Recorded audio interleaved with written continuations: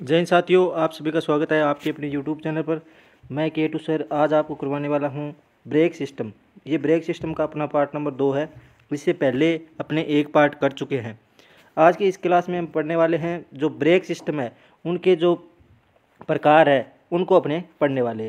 पहला प्रकार है मैकेनिकल ब्रेक का, उसके बाद है हाइड्रोलिक ब्रेक का, उसके बाद तीसरा जो प्रकार है वो है पावर ब्रेक का, उसके बाद चौथा जो प्रकार है वो है पार्किंग ब्रेक का उसके बाद जो इम्पोर्टेंट है वो डिस्क ब्रेक पढ़ेंगे अपने। इसके बाद जो एबीएस है, यानी anti anti locking braking system होता है, वो पढ़ेंगे ठीक है दोस्तों, ये जो अपनी क्लासेज है, ये बीआरओ के लिए चल रही है। और आज की जो अपनी क्लास है, ये ब्रेक सिस्टम के पार्ट नंबर दो की क्लास है। ये अपनी जो क्लास है इतनी, वो सारी क्लास उसको कंटिन्यू देखें, जिससे आपका एग्ज़ाम में एक भी क्वेश्चन गलत ना हो। तो चलिए दोस्तों, आज की क्लास अपनी स्टार्ट करते हैं। सबसे पहले देखते हैं अपने mechanical brake mechanic brake brake को देखने वाले हैं। सबसे पहले देखते हैं, गाड़ी का पहिया एक ड्रम से कसा रहता है। ब्रेक शू, इस ड्रम, ब्रेक ब्रेक शू, यानी ब्रेक शू, इस, मैंने आपको पिछली वीडियो में बताया था ब्रेक शू क्या होता है। इस ड्रम के संपर्क में आते हैं। प्रत्येक पहिए के ड्रम में दो ब्रेक शू लगे रहते हैं। इसकी बाहरी सतह पर ब्रेकिंग लाइनिंग होती है। इससे क्या होता है? बाहरी जो सतह होती है, जो बाहरी सतह होती है उसकी बाहर वाली सतह, उसके ऊपर ब्रेकिंग लाइनिंग लगी रहती है। ये जो ब्रेक शू है, इसके ऊपर एक पट्टीदार लाइनिंग लगी होती है, जिससे ये ड्रम के संपर्क में आते हैं और ब्रेक लगते हैं। इसके बाद आगे देखिए, प्रत्येक शू के एक सिरे पर एंकर पिन के द्वारा ये जुड़े होते हैं। प्रत्येक शू होते हैं कि जो ये लाइनिंग होती है, ये क्या होता है? ये यहाँ से जुड़ी होती है। ठीक है? जिससे क्या होता है कि ये कंटिन्यू रह पाए। ठीक है? इसके बाद देखिए, जब जब ब्रेक लगाए जाते हैं तब ब्रेक लाइनिंग ड्रम के संपर्क में आती है। जब ब्रेक नहीं लगाए जाते हैं, तब रिट्रैक्टर स्प्रिंग ब्रेक शू को अपनी स्थिति में रख लेते हैं, ठीक है? जिससे ब्रेक नहीं लगते हैं। ये देखिए, ये होता है मैकेनिकल ब्रेक। मैकेनिकल ब्रेक का डायग्राम मैंने आपको दिखा रखा है। ये जो स्प्रिंग लगे हुए हैं, ये दो स्प्रिंग लगे होते हैं इसके अंदर, ठीक है? ये इसकी केम होती है, जिसके द्वारा ये दोनों कसे रहते हैं इसके ऊपर। ये आगे बारी जो परत है, बार वाली परत है, इसको बोलते हैं ब्रेक ड्रम, जिसको मैंने आपको पिछले वीडियो में करवाया था ब्रेक ड्रम को। इसके बाद जो ब्रेक लाइनिंग है, ये ब्रेक शू के ऊपर एक पट्टी लगी होती है, जिसको बोलते हैं ब्रेक लाइनिंग। और ये इस, ये जो आप देख रहे हो, ये है ब्रेक शू, ये ब्रेक शू है, ठीक है? ये जो काले वाला भाग आप देख रहे हो, ये है ब्रेक लाइनिंग। और ये जो वाइट भाग आप देख रहे हो, इसके अंदर ये वाला, इतना जो भाग है, ये होते हैं ब्रेक शू। इसके ऊपर ये ब्रेक लाइनिंग लगी होती है, और इससे क्या होता है, ये ब्रेक का ड्रम होता है, इसके संपर्क में आते हैं। इसके बाद ये ब्रेक प्लेट लगी होती है, ये होती है ब्रेक प्लेट बोलते हैं इसको। ठीक है? चलिए, ये होती है एंकर ये इसको जोड़े रखता है। ठीक है?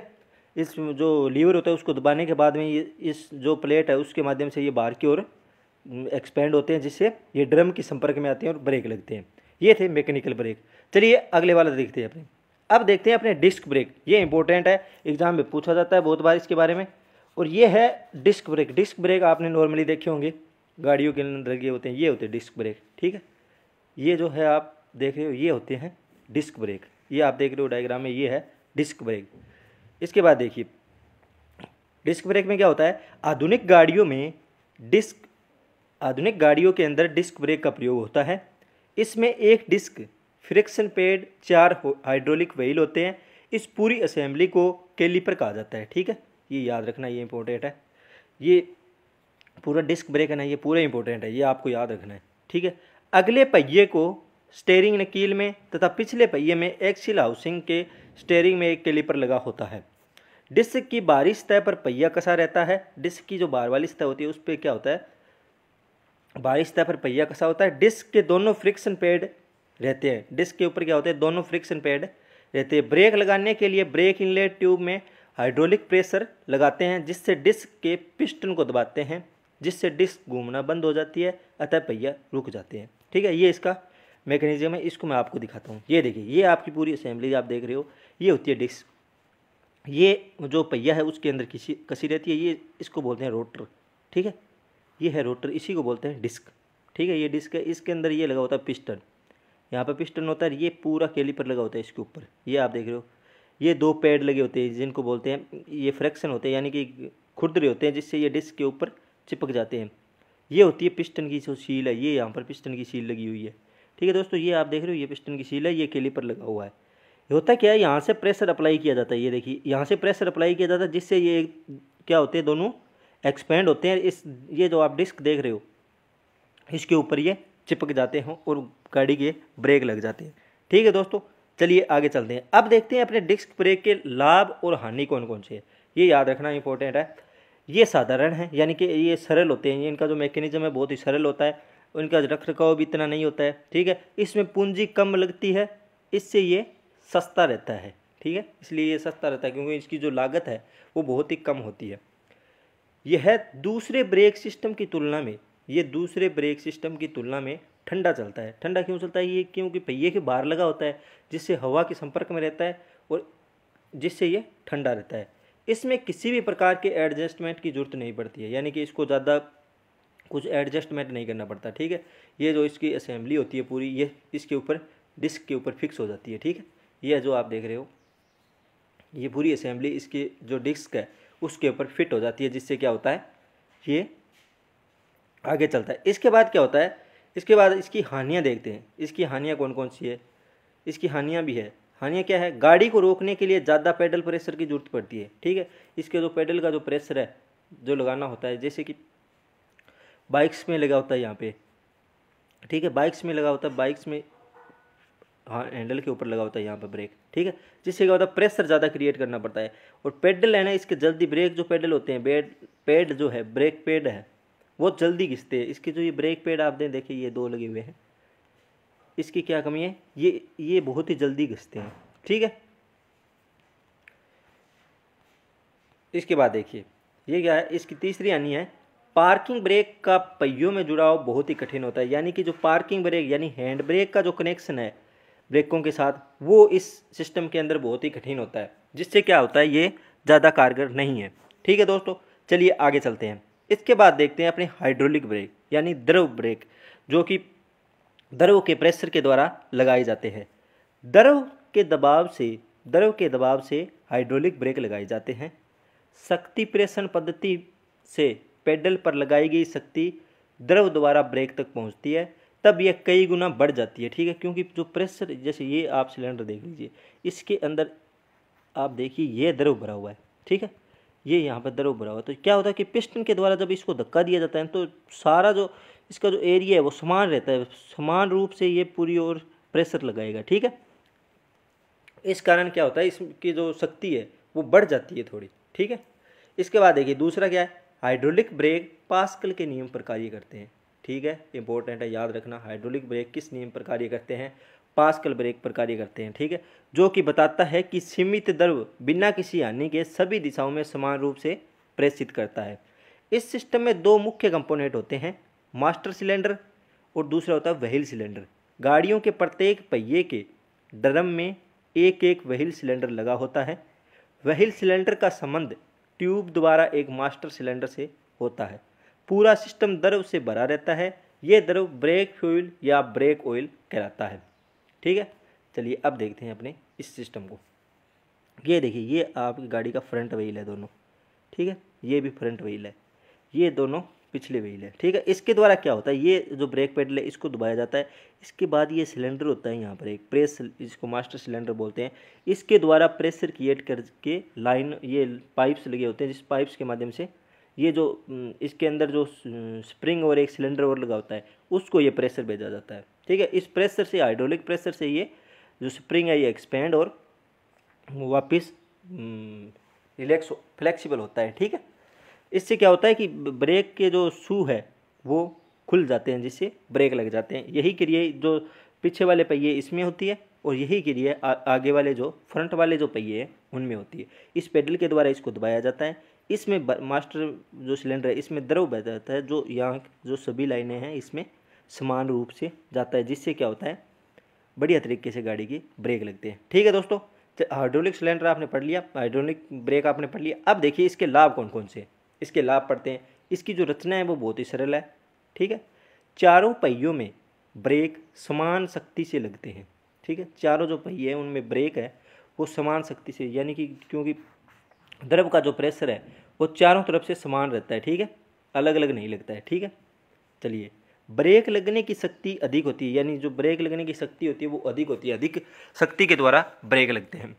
यांत्रिक लाभ अधिक होता है टूट फूट भी इसकी क्या होती है? कम होती है। इसकी टूट फूट क्या होती है? कम होती है। ठीक है दोस्तों, ब्रेकिंग सिस्टम स्वतः ही समायोजित होता है, यानी कि ये अपने आप बढ़िया तरीके से एडजस्ट हो सकता है।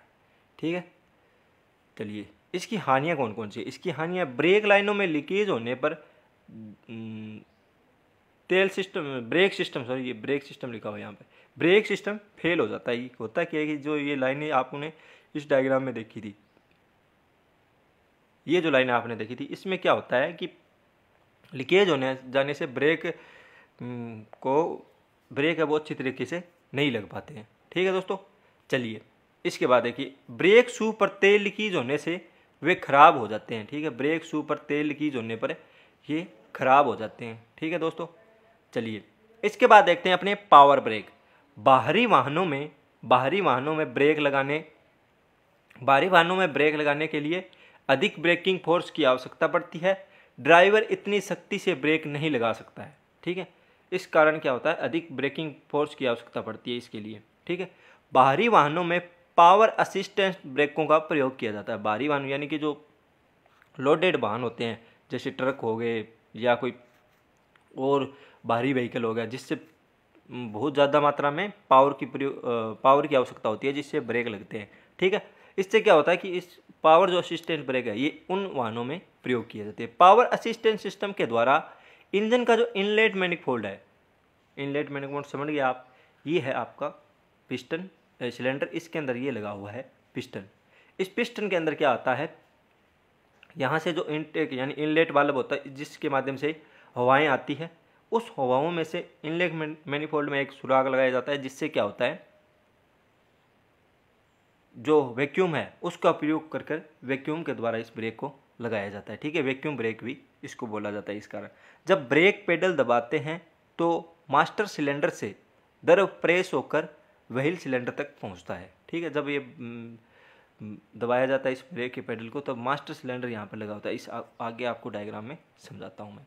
ये देखिए। ये होता है hydraulic brake power brake system इसमें होता क्या है? ये देखिए, ये है आपका ब्रेक का पेडल इसके बाद ये मास्टर सिलेंडर लगा होता है इसके अंदर। ठीक है?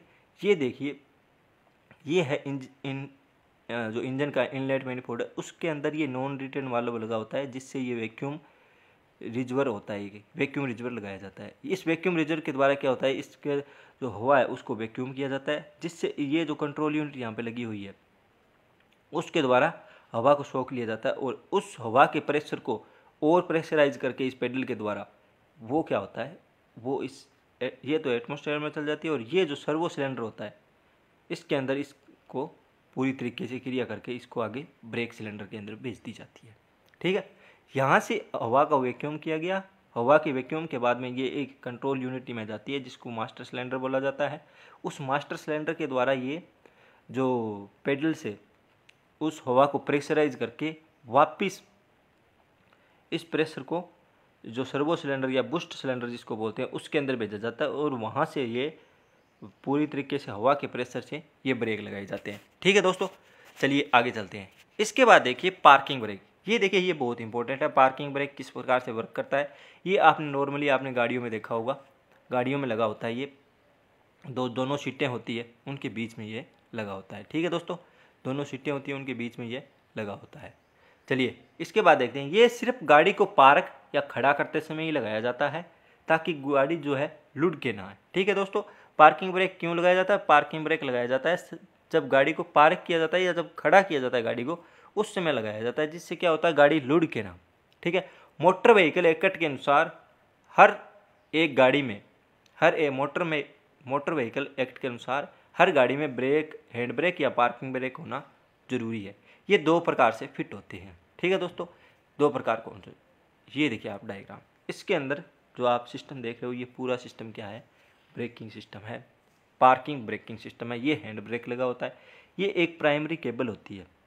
ठीक है? जो एक एडजस्ट नट यहाँ पर ये हब बना होता है। इक्वलाइजर हुक बोलते हैं इसको। इक्वलाइजर हुक बोलते हैं इसको। कैलवास पिन होती है, जिससे क्या होता है एडजस्टमेंट होता है। फिर ये जो सेकेंडरी केबल होती है, ये ब्रेकों के अंदर जाती है, जहाँ पर ये ब्रेक ड्रम से जुड़ी होती है। जिससे क्या होता है, इसको जब खींच दिया इसको खींच दिया जाता है ऊपर की ओर, तब ये ब्रेक लग जाते हैं, ठीक है? वो लगे, जो आपके जो शू है, उसको पूरी तरीके से खींच के रखता है ये। जिससे क्या होता है, गाड़ी के ब्रेक रखते हैं, गाड़ी हिलती नहीं ठीक है? क्योंकि वो ड्रम से चिपक रहेंगे, जिससे क्या है पहिए आगे नहीं चलेंगे। इसके बाद क्या होता है? इसके दो प्रकार कौन कौन से हैं? इसके कॉन्ट्रैक्टिंग वाले ब्रेक यानी सिकुड़ने वाले ब्रेक इसके अंदर क्या होता है देखिए, इस ब्रेक के अंदर ब्रेक शू ब्रेक ड्रम के द्वारा ब्रेक ड्रम के सॉरी इस ब्रेक के अंदर ब्रेक शू बैंड द्वारा ड्रम के बाहर लगाए जाते हैं, ठीक है? जो ब्रेक ड्रम होता है, उसके जो ब्रेक शू है, वो बाहर लगाए जाते हैं, ना कि इसके अंदर ही। जैसे ये ब्रेक ड्रम है तो इसके अंदर नहीं लगाई जा रही, इसके बाहर लगाए जा रहे हैं वो ब्रेक शू ठीक है? इस सिस्टम में सिकुड़ने वाले ब्रेक सिस्टम में क्या होता है? ये सिस्टम होता है। हैंड ब्रेक लीवर खींचने पर एक केन द्वारा ब्रेक शू के दोनों हिस्से जुड़ जाते हैं, जिससे इसके अंदर चलने वाला ड्रम पकड़ में आ जाता है और ब्रेक लग जाते हैं। ठीक है? ये होता है इसका सिस्टम सिकुड़ने वाले का। अब फैलने वाला क्या देखिए, जो एक्सपेंडिंग वाले ब्रेक होते हैं पार्किंग ब्रेक उनके बारे में देखिए। इस सिस्टम में अलग से ब्रेकिंग सिस्टम नहीं लगा होता है। पिछले पहियों के ब्रेक सिस्टम में ऐसा ही संबंध प्रबंध किया जाता है, जिससे उसमें लगे ब्रेक शू, उसमें लगे ब्रेक शू, फ्लेक्सिबल केबल के द्वारा फैलाकर ड्रम के साथ बाहर लगाए जाते हैं। ठीक है दोस्तों, इस सिस्टम के अंदर, इस सिस्टम के अंदर हैंड ब्रेक लीवर द्वारा फ्लेक्सिबल केबल और रोड को खींच लिया जाता है। यानी जो रोड लगी होती है, केबल और रोड लगी होती है इसके अंदर, ब्रेकिंग सिस्टम के अंदर। देखिए, ये जो आप केबल देख रहे हो, सेकेंडरी केबल या प्राइमरी केबल, इनको एक रोड के द्वारा खींच लिया जाता है, इसके द्वारा। ठीक है? इसको हैंड ब्रेक बोलते हैं। इसके द्वारा इसको खींच लिया जाता है, जिससे ये ब्रेक लग जाते हैं। ठीक है दोस्तों? इसके बाद देखिए, इस सिस्टम के अंदर brake lever flexible cable rod द्वारा खींच लिया जाता इतना बढ़ लिया। इसके खींचने से, इसके खींचने से वहील ड्रम के अंदर लगी कैम ब्रेक शू को फैला देती है, जिससे शू को ड्रम के अंदर पकड़ लिया जाए जैसे क्या होता है? इसके अंदर क्या सिस्टम है? सिकुड़ने वाले में क्या सिस्टम है? ये एक बार और बता देता हूँ मैं आपको। ठीक है? ये इस सिक्योरिटी वाले में देखते हैं सिक्योरिटी वाले में क्या होता है? जो ड्रम होता है ना, उसके बाहर लगे होते हैं ये। ठीक है? क्या होते हैं? ये बाहर लगे होते हैं। और जो केबल का कनेक्शन होता है ना, वो इस केबल हैंड ब्रेक के द्वारा होता है। जिससे क्या होता है, ये जब इसको खींचा जाता है ना, नीचे डाउन किया जाता है ना, तब ये क्या हो जाता है? ये ब्रेक लग जाता है। यानी कि जब इसको नीचे डाउन करेंगे ना, तब ये ब्रेक सिस्टम लग जाएगा। ठीक है? ये क्योंकि ये ड्रम के जो लाइनर शू है या ब्रेक शू है जो इससे क्या होंगे? चिपक जाएँगे। ठीक है? और इस फैलने वाले में क्या होता है, इसके जो ब्रेक शू होते हैं, वो अंदर लगे होते हैं। ठीक है दोस्तों, ये केबल के द्वारा जब इस जो है हैंड ब्रेक इसको ऊपर किया जाता है, ऊपर की ओर किया जाता है, तब क्या होता है, ये ब्रेक लग जाते हैं। क्योंकि इसके, ये खींचेगा, खींचने से क्या होगा, ये अंदर की ओर जाएँगे, ये अंदर चिपक जाएँगे इसके। ठीक है दोस्तों, ये थे अपने ब्रेकिंग पार्किंग सिस्टम इसके बाद अपने देखते हैं। एबीएस सिस्टम बहुत इंपॉर्टेंट है, बहुत इंपॉर्टेंट इसको आप इम्पोर्टेंट लगा सकते हो। ठीक है? A B S anti lock braking system है ये। एंटी लॉक ब्रेकिंग सिस्टम है। बहुत ही बढ़िया कारगर है। पहले गाड़ियों की दुर्घटना के समय क्या होता था कि गाड़ी के जो स्टेयरिंग है, वो कंट्रोल में नहीं आ पाता था। देखिए, इस प्रकार देखिए डायग्राम ये है विदाउट एबीएस यानी इसके अंदर एबीएस नहीं लगा होता। है यहाँ से गाड़ी जा रही थी। यहाँ से गाड़ी जा रही थी। ठीक है? ये गाड़ी जा रही है तो गाड़ी यहाँ पे इस पॉइंट के ऊपर ब्रेक लगाएँगे ना। जैसे ये आगे था। ये आगे एक कोई भी चीज़ थी मतलब वस्तु थी ये। ये आगे लगी हुई, आगे लगने से क्या होता था, ये अब ब्रेकिंग सिस्टम क्या होता है, गाड़ी को ऐसे घुमा रहा था ये। इससे क्या कर रहा था, ड्राइवर इससे बचाने की कोशिश कर रहा था, गाड़ी यहाँ से जा रही थी और ये इसको बचाने की कोशिश कर रहा। ब्रेक लगने के बाद क्या होता है कि गाड़ी का जो ये कंट्रोल था, ये पहिए थे वो लॉक हो जाते हैं, लॉक होने से क्या होते हैं, ये इसके अंदर जाके लग गई गाड़ी, जिससे क्या होगा गाड़ी का ज़्यादा नुकसान होगा। ठीक है दोस्तों, इससे क्या होगा, ये जो गाड़ी के जो पहिए हैं, उनकी जो गति होती है, उस गति को कंट्रोल नहीं कर पाते हैं, जिससे ये गाड़ी इसके अंदर लग जाती है। ठीक है, ये दुर्घटना घट जाती है। वहीं देखिए with a with a system में क्या होता है, यहाँ से गाड़ी जा रही थी। गाड़ी जाने के बाद ये पहिया था। अब ड्राइवर इसको बचाने के चक्कर में क्या करता है, पहिए को, जो वही स्टेयरिंग है, उसको इस साइड घुमाता है। ठीक है? इस साइड घुमाता है तो क्या होता है कि जो एंट सेंसर लगे होते हैं वो ब्रेक लगाने के बाद में ए, सेंसर के द्वारा इस गाड़ी को कैसे इस दिशा में मोड़ दिया जाता है जिससे ये ऐसे मोड़ के इससे चली जाएगी बच कर चली जाएगी ठीक है? गाड़ी के अंदर जो चोट नहीं होगी गाड़ी की दुर्घटना नहीं घटेगी। ये देखिए इनके जो पहिए होते हैं वहाँ पर ये जो स्पीड सेंसर है वो लगे होते हैं जिस स्पीड के द्वारा इसको बताया जाता है और स्पीड सेंसर एक दो पीछे लगे होते हैं ठीक है?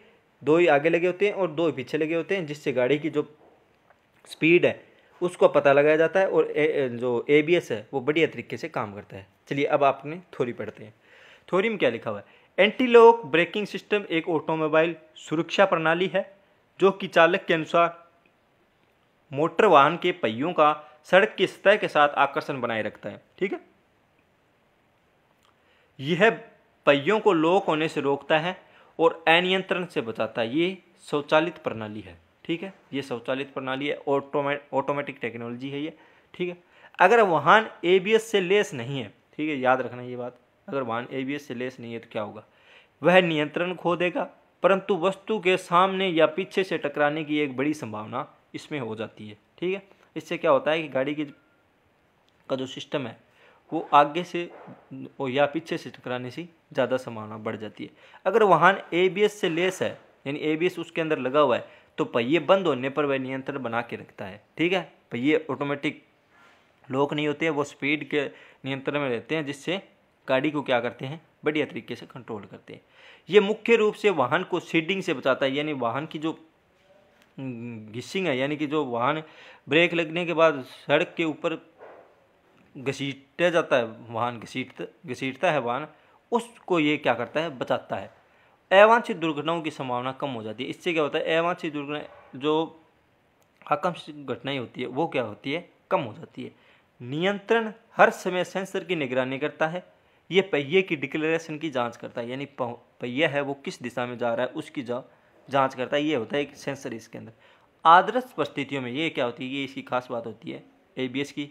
ये क्या होती है? आदर्श परिस्थितियों में 100 किलोमीटर प्रति घंटे की अगर गति से कोई गाड़ी चल रही है तो वो कार उसको पाँच सेकंड रोकने में लग जाता है। एबीएस सिस्टम को पाँच सेकंड लगेंगे उस गाड़ी को रोकने के लिए। ठीक है दोस्तों?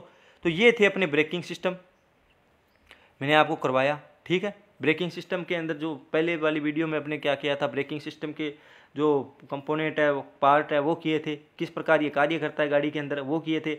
आज की जो अपनी वीडियो है, आज की वीडियो में अपने किए थे ब्रेकिंग सिस्टम किस प्रकार से कार्य करता है कौन कौन से इसके प्रकार है और जो पर, इसकी जो प्रकार है इसको क्या करते हैं अलग तरीके से मैंने आपको बताया। देखिए मैंने आज क्या क्या पढ़ाया मैं आपको बता देता हूँ। ये अपना दूसरा पार्ट था। इसमें अपने सबसे पहले मैकेनिक ब्रेक किया। मैकेनिक ब्रेक किया इसके डायग्राम को देखा फिर डिस्क ब्रेक देखिए कैसे प्रकार से काम किए। इसके बाद देखिए इसके लाभ और हानि पड़े फिर हाइड्रोलिक ब्रेक को पढ़ा। फिर पावर ब्रेक को पढ़ा ठीक है? ये आप सभी को याद है, फिर पार्किंग ब्रेक को पढ़ा और इसके बाद में जो एबीएस सिस्टम ये टेक्नोलॉजी की थी अपने। ये बहुत ही इंपॉर्टेंट थी, इसको याद रखना। एग्ज़ाम में बहुत बार इसके क्वेश्चन पूछे जाते हैं। बहुत इंपॉर्टेंट है ये। ठीक है दोस्तों? तो आज की अपनी क्लास इतनी रहने वाली है। ठीक है दोस्तों? ये अपना ब्रेकिंग सिस्टम कंप्लीट हो चुका है अब। ठीक है? अगले वीडियो में मिलते हैं। तब तक के लिए जय हिंद, धन्यवाद। हमारा आपको वीडियो अगर वीडियो पसंद आया तो वीडियो को लाइक करो। इसको ज़्यादा से ज़्यादा शेयर करो। और चैनल को ज़रूर सब्सक्राइब करो। ठीक है दोस्तों, इससे क्या होगा, आप चैनल से जुड़े रहेंगे पल पल की कोई भी किसी भी प्रकार की आपको बी की सूचना है वो इस चैनल पर बारी बारी से देती जा रही है ठीक है? अगर आपके एडमिट कार्ड आए, वो भी हम सूचना जल्द लेके आएँगे, आपके कब आ रहे हैं एडमिट कार्ड ठीक है? और हमारा जो एम सी क्यू बैच है, हमारा जो एम सी क्यू बैच है, वो अभी जल्द आ रहा है। ठीक है? अभी सिलेबस हो जाए, बस दो चार टॉपिक हो रहे हैं आपके, वो कंप्लीट हो जाए, उसके बाद एम सी क्यू स्टार्ट करेंगे अपने। ठीक है दोस्तों, मिलते हैं अपने अगले वीडियो में। तब तक के लिए जय हिंद, धन्यवाद।